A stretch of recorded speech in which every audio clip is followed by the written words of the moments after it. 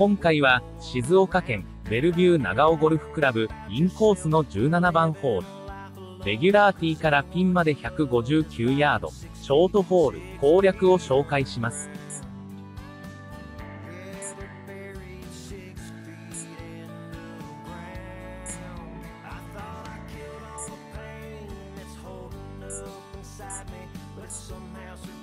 ティーショット、谷越えのショートホール、グリーンを右に外すと危ない。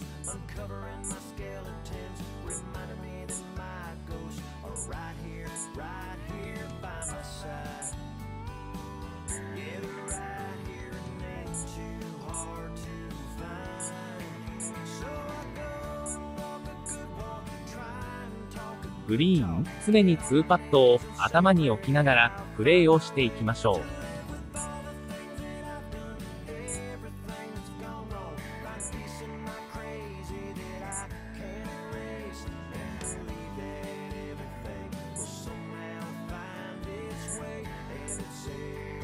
インコースの17番ホールは、パー3、レギュラーティーからピンまで159ヤード、ハンディキャップは6、谷越えのショートホール。難易度は18ホール中13位。平均スコアは4.25。平均パット数は2.04。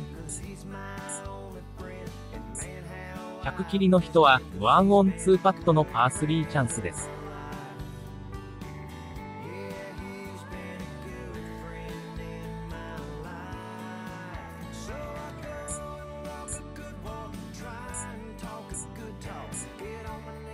インコースの17番ホール、パー3、レギュラーティーからピンまで159ヤード、ティーショットの攻略ポイントは、谷越えのショートホール、グリーンを右に外すと危ない。